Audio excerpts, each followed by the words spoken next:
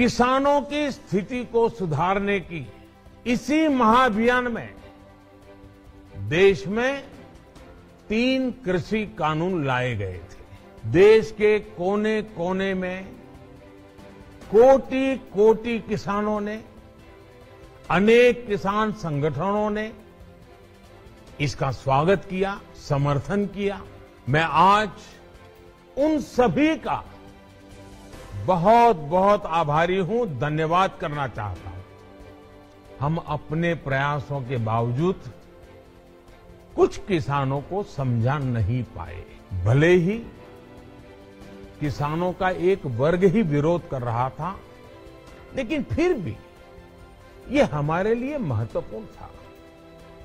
साथियों, मैं आज देशवासियों से क्षमा मांगते हुए सच्चे मन से और पवित्र हृदय से कहना चाहता हूँ कि शायद हमारी तपस्या में ही कोई कमी रही होगी, जिसके कारण दिए के प्रकाश जैसा सत्य कुछ किसान भाइयों को हम समझा नहीं पाए आज गुरु नानक देव जी का पवित्र प्रकाश पर्व है। ये समय किसी को भी दोष देने का नहीं है। आज मैं आपको, पूरे देश को ये बताने आया हूँ कि हमने तीन कृषि कानूनों को वापस लेने का, रिपील करने का निर्णय लिया है।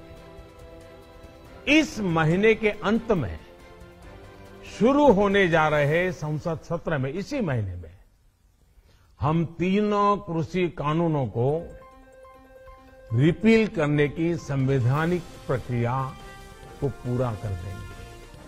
साथियों, मैं आज अपने सभी आंदोलनरत किसान साथियों से आग्रह कर रहा हूँ, आज गुरु पर्व का पवित्र दिन है।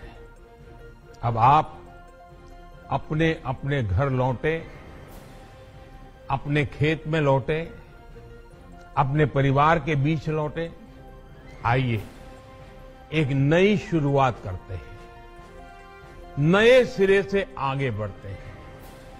साथियों, आज ही सरकार ने कृषि क्षेत्र से जुड़ा एक और अहम फैसला लिया है। ज़ीरो बजट खेती, यानी प्राकृतिक खेती को बढ़ावा देने के लिए